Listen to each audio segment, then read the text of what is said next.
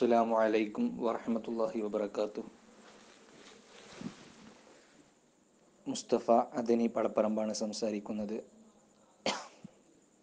അലഹമില്ല എല്ലാ വർഷവും നടന്ന് വരാറുള്ളത് പോലെ തന്നെ നമ്മുടെ ഹുബുർ റസൂൽ ഗ്രൂപ്പിൽ സാഹിത്യോത്സവ് പ്രമാണിച്ച് ഓരോ വിഷയങ്ങളും സാഹിത്യോത്സവം മത്സരവുമായി ബന്ധപ്പെട്ടിട്ടുള്ള ഓരോ വിഷയങ്ങളിലും പ്രത്യേകം ക്ലാസ് നടക്കാറുണ്ട്. കഴിഞ്ഞ വർഷങ്ങളൊക്കെ സംബന്ധിച്ച് തന്നെ അത് വളരെ ഉപകാരവും വളരെ പ്രാധാന്യവുമുള്ളതാണ് എന്ന് നമുക്ക് പിന്നീട് അത് ബോധ്യപ്പെട്ടിട്ടുണ്ട്. അതുകൊണ്ട് തന്നെ ഹുബു റസൂൽ ഗ്രൂപ്പ് അഡ്മിൻ നമ്മുടെ ബാസിത്ത് പെരുമുഖം ചെയ്യുന്നത് വലിയ ഒരു സുദീർഘമായ സേവനമാണ് എന്ന കാര്യത്തിൽ യാതൊരു സംശയവുമില്ല. ഏതായാലും ഇന്ന് ക്ലാസ് തുടങ്ങുകയാണെന്ന് തോന്നുന്നു. മാപ്പിളപ്പാട്ട് എന്ന വിഷയത്തെ ആസ്പദമാക്കിയിട്ടാണ് എനിക്ക് സംസാരിക്കാൻ കിട്ടിയിട്ടുള്ളത്. വാട്സപ്പ് വോയിസ് ക്ലാസ് ആയതുകൊണ്ട് തന്നെ ഒരുപാട് പരിധികളും പരിമിതികളും ഉണ്ട് എന്നുള്ള കാര്യത്തിൽ യാതൊരു സംശയവുമില്ല. അപ്പോൾ വിശാലമായ ഡീപ്പായിട്ടുള്ള ഒരു ക്ലാസ് ചെയ്യുന്ന നൽകുന്നതിന് പകരം വളരെ ചുരുങ്ങിയ വാക്കുകളെ കൊണ്ട് ഒരു മത്സരാർത്ഥിയെ സംബന്ധിച്ചിടത്തോളം എന്തെല്ലാം ശ്രദ്ധിക്കണം എന്നുള്ളൊരു വിഷയത്തിലേക്ക് ഞാൻ കടക്കാം. ഇൻഷാല്ല പ്രധാനമായും മാപ്പിളപ്പാട്ട് നമ്മൾ ശ്രദ്ധിക്കേണ്ടത് ആദ്യമേ പാട്ട് സെലക്ട് ചെയ്യുന്നിടത്താണ് സാഹിത്യോത്സവമായാലും അതല്ലെങ്കിൽ സ്കൂൾ കലോത്സവങ്ങളായാലും വളരെ ജനകീയമായിട്ടുള്ള ഒരു മത്സരമാണ് മാപ്പിളപ്പാട്ട്. അതുകൊണ്ട് തന്നെ ആ മാപ്പിളപ്പാട്ടിന്റെ തനിമ നിലനിർത്തൽ ഏതൊരു മത്സരാർത്ഥിയുടെയും നിർബന്ധ ഘടകമാണ്. മാപ്പിളപ്പാട്ടിന്റെ തനിമ എന്നുള്ളത് അത് വളരെ പ്രാധാന്യമാണ് എന്നാണ് ഞാൻ പറഞ്ഞു വരുന്നത്. ഒരു പാട്ട് സെലക്ട് ചെയ്യുമ്പോൾ അതായത് ഒരു പാട്ട് മാപ്പിളപ്പാട്ട് മത്സരത്തിൽ ഒരു പാട്ട് സെലക്ട് ചെയ്യുമ്പോൾ അത് മാപ്പിളപ്പാട്ട് തന്നെയാവണം. അപ്പോൾ എങ്ങനെയാണ് മാപ്പിളപ്പാട്ട് ആവുക എന്നതാവും നിങ്ങളുടെ ആശങ്ക. ഒരു പാട്ട് മാപ്പിളപ്പാട്ട് ആകണം എന്നുണ്ടെങ്കിൽ പ്രധാനമായും മൂന്ന് കാര്യങ്ങൾ ഒത്തതാവണം എങ്കിലേ അതൊരു മാപ്പിളപ്പാട്ടായി മാറുള്ളൂ. അതിൽ പ്രധാനപ്പെട്ട ഒന്നാണ് മാപ്പിളപ്പാട്ടിന്റെ ഭാഷാ സാഹിത്യം എന്നുള്ളത്. അറബി മലയാള സാഹിത്യത്തിലുള്ളതാവണം മാപ്പിളപ്പാട്ട്. അതോടൊപ്പം അറബി മലയാള സാഹിത്യം അങ്ങനെ തന്നെ പറ പറഞ്ഞത് ചിലർ സങ്കര ഭാഷ എന്നൊക്കെ പറയും. അതുകൊണ്ടാണ് ഞാൻ അറബി മലയാള സാഹിത്യ ഭാഷ തന്നെ ആവണം എന്ന് പറഞ്ഞത്. രണ്ടാമത് മാപ്പിളപ്പാട്ട് ഒരു ഇശലിലാവണം. നമ്മുടെ പൂർവികർ ചെയ്തു വെച്ച എഴുതി വെച്ച ഒരുപാട് ഇശലുകൾ. ഇശലുകൾ മീൻസ് രീതി എന്നതിലപ്പുറം ഒരു അളവുകോലായിട്ട് തന്നെ അതിനെ കണ്ടാൽ മതി. അപ്പോൾ ഒരു അളവിൽ ഒരു ഇശലിലാവണം മാപ്പിളപ്പാട്ട് എഴുതിയിട്ടുണ്ടാവേണ്ടത്. മൂന്നാമത്തെ കാര്യം മാപ്പിളപ്പാട്ടിന്റെ പ്രാസ നിയമങ്ങൾ സാധാരണ നമ്മൾ പാടുന്ന മധുഹ ഗാനങ്ങൾക്ക് ചില മധുഹ ഗാനങ്ങൾക്കൊന്നും ചിലപ്പോൾ പ്രാസ നിയമങ്ങളൊന്നും ഉണ്ടായിക്കൊള്ളണമെന്നില്ല. ഒരുപാട് പാട്ടുകളുണ്ട് പ്രാസ നിയമങ്ങളില്ലാത്ത പൂർവികർ നമുക്ക് കാണിച്ചു തന്ന ഏറ്റവും വലിയൊരു മാതൃകയാണ് മാപ്പിളപ്പാട്ടിന്റെ പ്രാസ നിയമം എന്നുള്ളത്. അപ്പോൾ ഈ മൂന്ന് കാര്യങ്ങളും ഒത്തുവരുന്നതാണ് മാപ്പിളപ്പാട്ട്. പ്രാസ നിയമങ്ങളിൽ വളരെ പ്രധാനമായിട്ട് വരുന്നതാണ് കമ്പി കഴുത്ത് വാൽക്കമ്പി വാലുമ്മക്കമ്പി അതുപോലെ ചിറ്റെഴുത്ത് എന്നുള്ളതൊക്കെ. ഇതിൽ കമ്പിയും വാൽക്കമ്പിയും കഴുത്തും വാലുമ്മക്കമ്പിയൊക്കെ മിക്ക മാപ്പിളപ്പാട്ടുകൾക്കും കാണാൻ പറ്റുന്നതുമാണ്. അതുമായി ബന്ധപ്പെട്ടത് ഇൻഷാല്ല ഞാൻ അടുത്ത വോയിസിൽ പറയാം. അപ്പോൾ പ്രാസ നിയമങ്ങൾ നമ്മുടെ പൂർവികരൊക്കെ മാപ്പിള ശേഖരണത്തിൽ അതല്ലെങ്കിൽ അറബി മലയാള സാഹിത്യത്തിൽ ആദ്യമായി കണ്ടെടുത്ത മൊഹീദ്ദീൻ മാല മുതൽ മൊഹീദ്ദീൻ മാലയിൽ വരെ ഈ പറയപ്പെട്ട പ്രാസ നിയമങ്ങൾ പൂർണമായിട്ടില്ലെങ്കിലും പ്രാഥമിക പ്രാസ നിയമങ്ങളൊക്കെ ഒത്ത് വളരെ ഭംഗിയായിട്ടുള്ള ആണ് നമ്മുടെ പൂർവികരൊക്കെ പാട്ടുകൾ എഴുതിയിട്ടുള്ളത്. അപ്പോൾ പ്രാസ നിയമങ്ങൾ വളരെ പ്രാധാന്യം കൊടുക്കേണ്ട ഒരു സംഗതിയാണ്. എന്നാൽ ചില ആളുകൾ മാപ്പിളപ്പാട്ടിൽ പ്രാസ നിയമങ്ങൾക്ക് പ്രാധാന്യമില്ല എന്നൊക്കെ പറയുന്നുണ്ടെങ്കിൽ പോലും പാട്ടിന്റെ അലങ്കാരവും പാട്ടിന്റെ ഭംഗിയുമൊക്കെ കൂട്ടുന്നതിന് പ്രാസ നിയമങ്ങൾക്ക് വലിയൊരു പങ്കുണ്ട് എന്ന കാര്യത്തിൽ യാതൊരു സംശയവുമില്ല.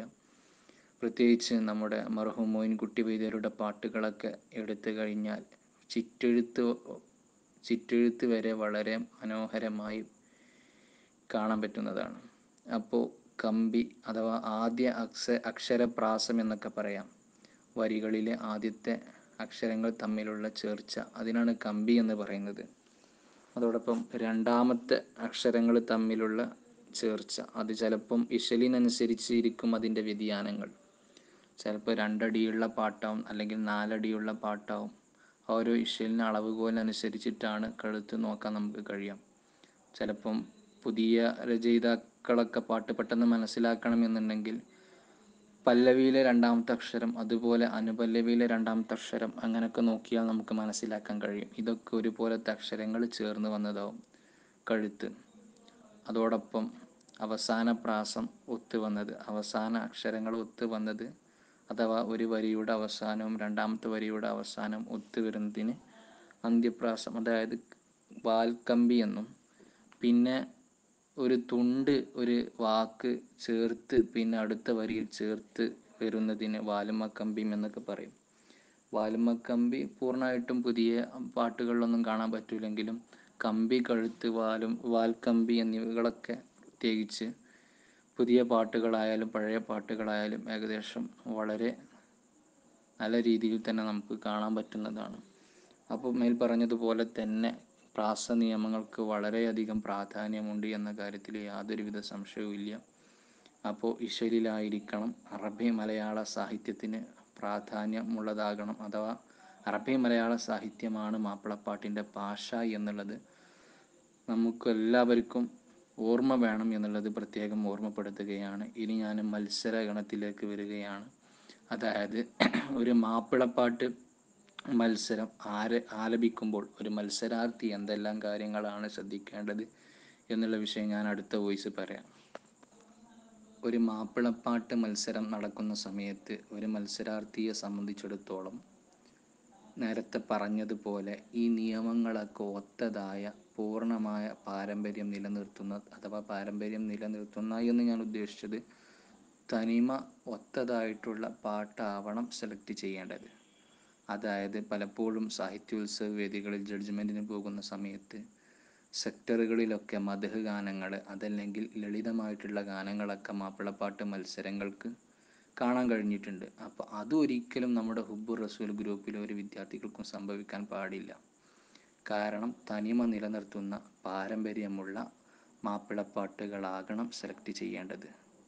പാരമ്പര്യം എന്നതുകൊണ്ട് ഉദ്ദേശിച്ചത് പൂർവികർ രചിച്ചത് തന്നെ ആവണം എന്നൊന്നുമുള്ള അഭിപ്രായം എനിക്കില്ല. ഞാൻ തനിമ എന്നുള്ളൊരു ലക്ഷ്യത്തിന് വേണ്ടി മാത്രം പറഞ്ഞതാണ്. അപ്പോൾ അതാണ് ആദ്യമായി ഒരു മത്സരാർത്ഥി ശ്രദ്ധിക്കേണ്ടത്. പിന്നെ മറ്റൊരു കാര്യം തന്റെ തൊണ്ട കൊണ്ട് പാടാൻ കഴിയുന്ന അഥവാ തനിക്ക് ഏറ്റവും ഭംഗി നന്നായി അവതരിപ്പിക്കാൻ കഴിയുന്ന ഒരു പാട്ടാകണം സെലക്ട് ചെയ്യേണ്ടത്. പല മത്സരാർത്ഥികളും നല്ല റിസ്ക് എടുത്ത് പാടാൻ പറ്റുന്ന പാട്ടുകൾ സെലക്ട് ചെയ്ത് അത് പാടി ഒന്നിനും കഴിയാത്ത കോലത്തിലാക്കുന്ന ഒരു സാഹചര്യം സന്ദർഭം. നന്നായി പാടാൻ കഴിവുള്ള കുട്ടികളാവും. പക്ഷേ ആ മാപ്പിളപ്പാട്ടിന്റെ മ്യൂസിക്കലി അതല്ലെങ്കിൽ അതിന്റെ ഇശലടിസ്ഥാനത്തിൽ അത് ട്യൂൺ ചെയ്ത് വന്നപ്പോൾ ഒരു റിസ്ക്കുള്ള പാട്ടായി മാറിയത് കൊണ്ട് തന്നെ ആ പാട്ടുകാരന് ഉതകുന്ന പാടാൻ കഴിയാത്തൊരു പാട്ടായി അത് മാറും. അപ്പോൾ അത്തരം വിഷയങ്ങൾ നന്നായി ശ്രദ്ധിക്കേണ്ട ഒരു കാര്യമാണ്.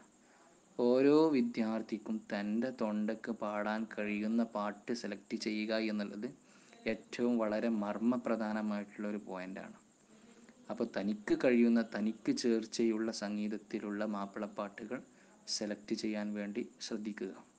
പിന്നെ പ്രത്യേകിച്ച് പറയാനുള്ളൊരു കാര്യം സാഹിത്യോത്സവ് നമ്മുടെ ഒരു ഇസ്ലാമിക കലാവേദികളായതുകൊണ്ട് ഒരു ഇസ്ലാമിക ചരിത്ര പാശ്ചാത്തലത്തിൽ വരുന്ന മാപ്പിളപ്പാട്ടുകൾക്ക് പടപ്പാട്ടുകൾ ഇസ്ലാമിക ചരിത്രവുമായി ബന്ധപ്പെട്ട യുദ്ധങ്ങൾ അതല്ലെങ്കിൽ നബി സല്ലല്ലാഹു അലൈഹി വസല്ലം തങ്ങളുമായി ബന്ധപ്പെട്ട ചരിത്രങ്ങൾ സ്വഹാബികളുമായി ബന്ധപ്പെട്ട ചരിത്രങ്ങൾ ഇത്തരം പാട്ടുകൾക്ക് പ്രാധാന്യം കൊടുക്കുന്നത് നന്നാകും. കാരണം ഞാനത് പറയാൻ കാരണം പലപ്പോഴും നമ്മൾ വിധി നിർണയത്തിനൊക്കെ പോകുന്ന സമയത്ത് ബദറുൽ മുനീർ ഹുസ്നുൽ ജമാലിലുള്ള പാട്ടുകൾ അതല്ലെങ്കിൽ വേറെ എന്തെങ്കിലും ഭൗതിക തലത്തോ അല്ലെങ്കിൽ പ്രാദേശിക തലങ്ങളിലോ പ്രാധാന്യം കൊടുക്കുന്ന വിഷയങ്ങളൊക്കെ മാപ്പിളപ്പാട്ടിൽ വിഷയങ്ങളായി വരുമ്പോൾ നല്ല ടൈറ്റ് കോമ്പറ്റീഷനൊക്കെ വരുന്ന സമയത്ത് ഒന്നും കൂടി ഇതല്ല സാഹിത്യോത്സവിനോട് യോജിച്ചിട്ടുള്ള വിഷയം എന്ന് പറഞ്ഞ് പല സഹ ജഡ്ജ്മെന്റും അഭിപ്രായം പറയാറുണ്ട്. പല ആളുകൾക്കും പല വീക്ഷണങ്ങളാണ്. അപ്പോൾ ഒന്നും കൂടിയും ബെറ്റർ നല്ലത് എന്താണ്? ഇസ്ലാമിക ഇതിവൃത്തം വരുന്ന ഇസ്ലാമിക ചരിത്രവുമായി ഇഴുകിച്ചേരുന്ന വിഷയങ്ങൾക്ക് പ്രാധാന്യമുള്ള പാട്ടുകൾ സെലക്ട് ചെയ്യുന്നതാവും നന്നാവുക എന്ന് പ്രത്യേകം ഓർമ്മപ്പെടുത്തുന്നു. അതോടൊപ്പം ഏറ്റവും വലിയ ഒരു പരാജയമായിട്ട് നാം മനസ്സിലാക്കുന്നത് പല വിദ്യാർത്ഥികളും പല മത്സരാർത്ഥികളും താൻ പാടുന്ന വിഷയം ഇൻട്രൊഡക്ഷനായിട്ട് അവർ പറയും ചിലപ്പോൾ. പ്രശസ്ത മാപ്പിള കവി മർഹൂം മൊയിൻ കുട്ടി വൈദ്യരുടെ ഉഹുദ് കിസപ്പാട്ടിൽ നിന്നെടുത്ത ഏതാനും ചില വരികൾക്കാണ് ഞാൻ ഈണം നൽകുന്നത്. ഇശലൊക്കെ പറഞ്ഞിട്ടാവും അവർ പറയുന്നത്. മറിച്ച് ആ ഒരു ആമുഖം കൊടുക്കുന്നതിനപ്പുറം ആ പാട്ടിലുള്ള ഇതിവൃത്തം അല്ലെങ്കിൽ ആ പാട്ടിൽ പറയുന്ന വിഷയം ആ പാട്ടിന്റെ ആശയം ഓരോ മത്സരാർത്ഥിക്കും അറിഞ്ഞുകൊള്ളണം എന്നില്ല. ഇന്ന് മത്സരത്തിൽ പാടുന്ന തൊണ്ണൂറ് ശതമാനം വിദ്യാർത്ഥികളും അല്ലെങ്കിൽ തൊണ്ണൂറ് ശതമാനം പാട്ടുകാരും തന്റെ താൻ പാടുന്ന മാപ്പിളപ്പാട്ടിലെ ആശയം ഇതിവൃത്തം അറിയാത്തവരാണ്.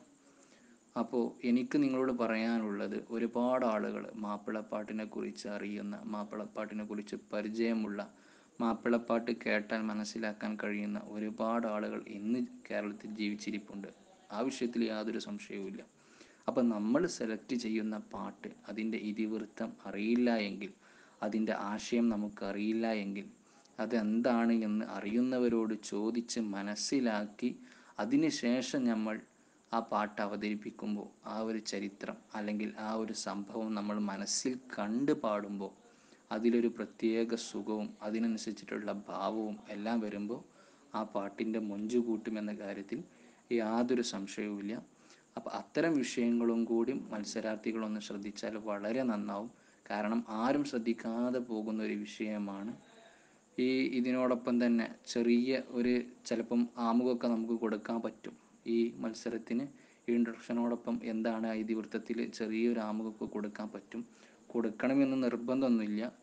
ചിലപ്പം നമ്മളെപ്പോലെ തന്നെ ഈ നമ്മളെപ്പോലെ തന്നെ എന്ന് ഉദ്ദേശിച്ചത് ഈ പാടുന്ന ആളുകളെ പോലെ തന്നെ ചിലപ്പം അതിലുള്ള ഇതിവൃത്തം എന്താണ് എന്ന് പല ഓഡിയൻസിനും അറിയാത്തവരുണ്ടാവും. പക്ഷെ നമ്മളൊരു ഇൻട്രൊഡക്ഷൻ കൊടുക്കുമ്പോൾ ആ ഇന്ന സംഭവമാണ് ഇന്ന ചരിത്രമാണ് അതിൽ പറയുന്നത് എന്നുള്ള ആ ഒരു മനോഭാവത്തോടു കൂടെ പ്രേക്ഷകർ ആസ്വാദകർ ഇരുന്ന് അത് കേൾക്കുമ്പോൾ പ്രത്യേകം ഒരു സുഖം അവർക്കും അനുഭവപ്പെടും. അപ്പോൾ അതൊക്കെ നല്ലതാണ്. അപ്പോൾ അത്തരം കാര്യങ്ങളൊക്കെ ഒരു മത്സരാർത്ഥി ശ്രദ്ധിച്ചാൽ അത് തന്റെ പാട്ടിനെ മാറ്റുകൂട്ടാൻ കഴിയുമെന്ന കാര്യത്തിൽ യാതൊരു സംശയവുമില്ല. അപ്പോൾ ഞാൻ ഈ പറഞ്ഞത് കാര്യങ്ങൾ പ്രത്യേകം ശ്രദ്ധിക്കേണ്ട വിഷയമാണ്. പുതിയ തലമുറയിൽ ഉള്ള കുട്ടികൾക്ക് സംഭവിച്ചു പോകുന്ന ഒരു കാര്യമാണത്. ആർക്കും താൻ പാടുന്ന പാട്ടിന്റെ ആശയം അതിന്റെ ഉള്ളിൽ പറയുന്ന വിഷയം എന്താണെന്ന് അറിയാതെ പോകുന്നു. അപ്പം അത്തരം ഒരു സാഹചര്യം അത് അറിയുന്നവരുമായി പഠിച്ച് ചോദിച്ച് മനസ്സിലാക്കുകയാണെങ്കിൽ വളരെ നന്നാവും. അതോടൊപ്പം കൂട്ടിച്ചേർക്കാനുള്ളത് പാട്ടിന്റെ മ്യൂസിക് ആധുനിക സാഹചര്യത്തിൽ പുതിയ മാപ്പിളപ്പാട്ടുകളിൽ കണ്ടുകൊണ്ടിരിക്കുന്ന ഒരു പ്രവണത എന്നുള്ള നിലയ്ക്ക് ഞാൻ ഓർമ്മപ്പെടുത്തുന്നത് മാപ്പിളപ്പാട്ടിന്റെ മ്യൂസിക്. ഇന്ന് ഒരു അഥവാ മാപ്പിള തനിമ പാരമ്പര്യം നിലനിർത്തുന്ന ഒരു ശൈലിയിൽ നിന്ന് മാറി വ്യതിചലിച്ചു പോകുന്ന ഒരവസ്ഥ ചില മാപ്പിളപ്പാട്ടിലൊക്കെ കാണാൻ പറ്റുന്നുണ്ട്. അപ്പോൾ അത്തരം ഒരു സാഹചര്യം നമ്മുടെ മാപ്പിളപ്പാട്ടിൽ നിന്ന് വരാതെ സൂക്ഷിക്കേണ്ടത് പരിശീലകരും മത്സരാർത്ഥികളായ നമ്മളുമാണ്. അതായത് മാപ്പിള പാരമ്പര്യവും തനിമയും നിലനിർത്തുന്ന രീതിയിലുള്ള സംഗീതമാണ് മാപ്പിള പാട്ടുകൾക്ക് കൊണ്ടുവരേണ്ടത്. പുതിയ പാട്ട് എഴുതിക്കുന്നതാവട്ടെ അതല്ലെങ്കിൽ പഴയ നമ്മുടെ എഴുതി വെച്ച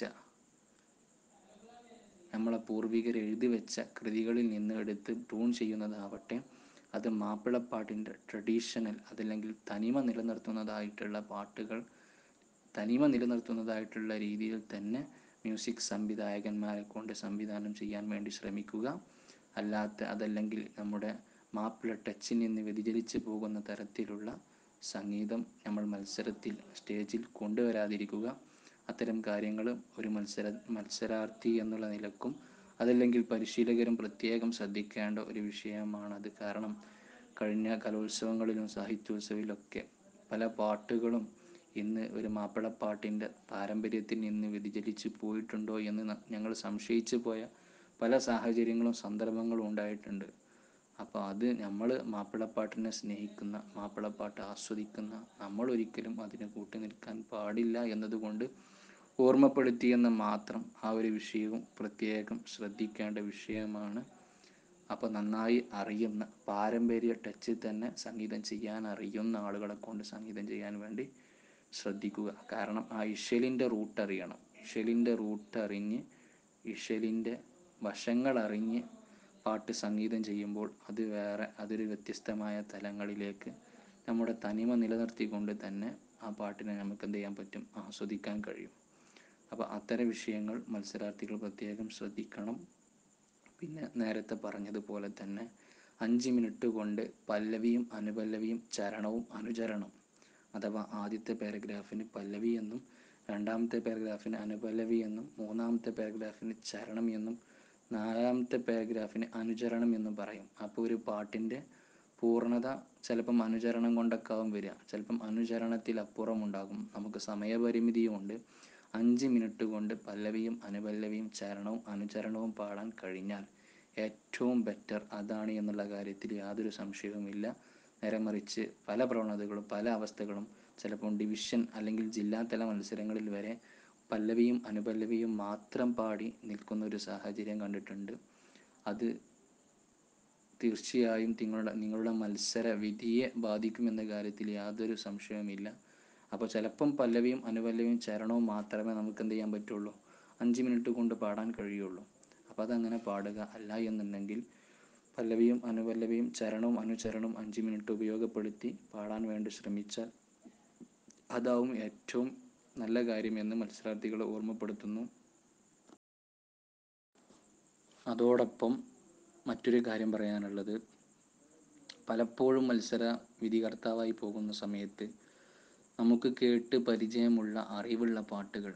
ഇപ്പോൾ പല വിധികർത്താക്കളും മാപ്പിള രംഗത്ത് ഉള്ള പല വിധികർത്താക്കൾക്കും ഒരു പാട്ട് കേട്ട് കഴിഞ്ഞാൽ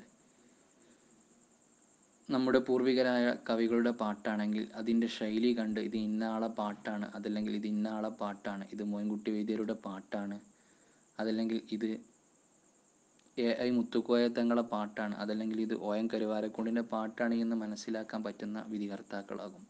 അപ്പോൾ പലപ്പോഴും പല സമയത്തും മോയിൻകുട്ടി വൈദ്യാരുടെ പാട്ടെടുത്തുകൊണ്ട് വേറൊരാളുടെ പേരിലൊക്കെ പറയും.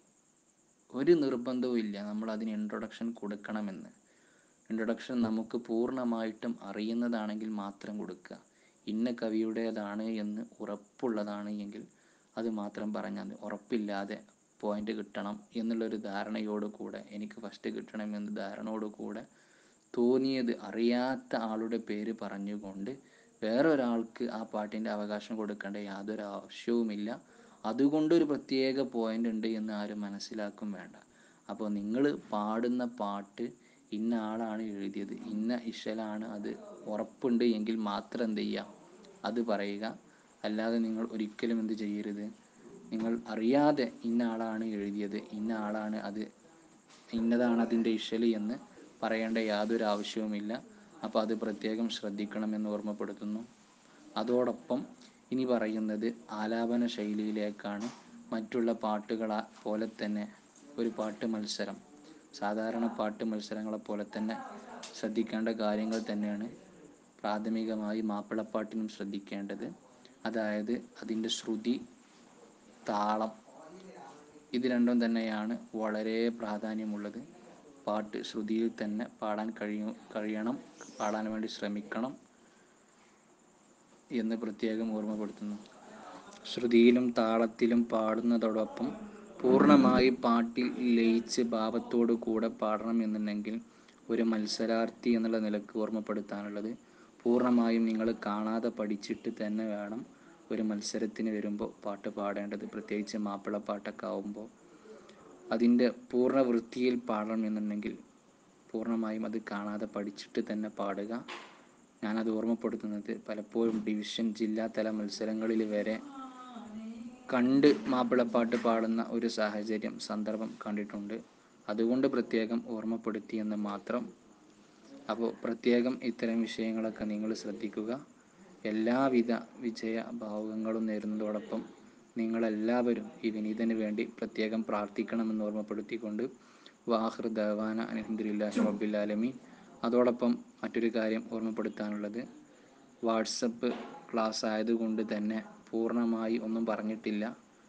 പ്രത്യേകിച്ച് ഒരു മത്സരാർത്ഥി എന്നുള്ള നിലയ്ക്ക് ഉപയോഗപ്പെടുത്താൻ പറ്റിയ കാര്യങ്ങൾ മാത്രം ദ്രുതഗതിയിൽ തന്നെ അഥവാ പെട്ടെന്ന് തന്നെ പറഞ്ഞ് പോയി പോവുകയാണ് ചെയ്തിട്ടുള്ളത്. അപ്പോൾ ഇനി എന്തെങ്കിലും സംശയങ്ങളോ കാര്യങ്ങളോ കണ്ട് എങ്കിൽ നിങ്ങൾക്ക് പേഴ്സണലായിട്ടോ അതല്ലെങ്കിൽ ഗ്രൂപ്പിലോ തന്നെ ചോദിക്കാവുന്നതാണ്. അറിയുന്ന വിഷയങ്ങളാണെങ്കിൽ പറഞ്ഞു തരും. ഗ്രൂപ്പിലൊക്കെ ചോദിച്ചാൽ നമുക്കറിയാത്തതാണെങ്കിൽ ഒരുപാട് പ്രഗത്ഭർ ഈ ഗ്രൂപ്പിലുണ്ട്. അപ്പോൾ ഇൻഷാ അള്ളാ അവർ മറുപടി പറഞ്ഞു തരും എന്ന് ഓർമ്മപ്പെടുത്തിക്കൊണ്ട് അസ്സാം വലൈക്കും വറഹ്മത്തുള്ളാഹി വബറകാതുഹു.